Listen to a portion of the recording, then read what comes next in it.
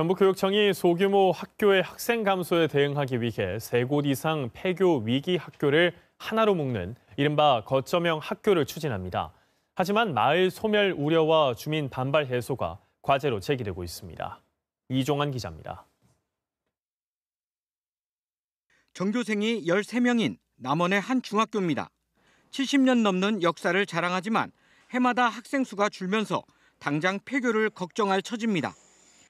차로 10분 거리의 이 중학교는 좀처럼 학생이 늘지 않자 최근 인근 중학교와 통합을 결정했습니다. 하지만 학생 수를 합해도 20명 안팎에 불과해 또다시 통폐합 우려를 안고 있습니다. 이에 전북교육청은 폐교 위기에 처한 3개 이상 학교를 통합하는 거점형 학교라는 카드를 빼들었습니다. 기존 학교 간 1대1 통합 방식으로는 적정 규모의 학생 수를 유지하는 데 한계가 있다고 보기 때문입니다.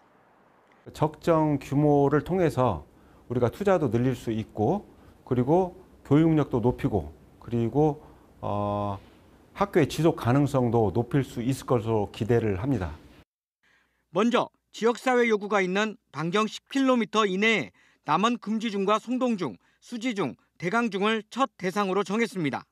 2028년 개교를 목표로 학교별 설명회와 의견 수렴 등의 절차를 거쳐 이들 학교 부지 가운데 한 곳에 통합학교를 짓게 됩니다. 폐교 한 곳당 90억 원의 재정 지원과 학교 운영비를 별도로 지원해 최신 교육시설과 기숙사를 짓고 통학 지원 혜택도 줄 방침입니다.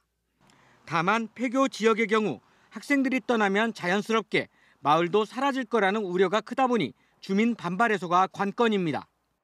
이대로 둔, 둘 경우에 서남권의 학교가 하나도 남지 않는 그런 상황이 발생이 됐을 때 결국은 교육 여건 악화가 지역 어, 소멸까지 어, 불러일으킬 수 있다는 우려에 대한 것을 이해를 시키는 것이 소규모 학교의 위기 극복을 위해 추진하는 거점형 학교가 성공할 수 있을지 지역사회와 교육계가 주목하고 있습니다. KBS 뉴스 이종환입니다.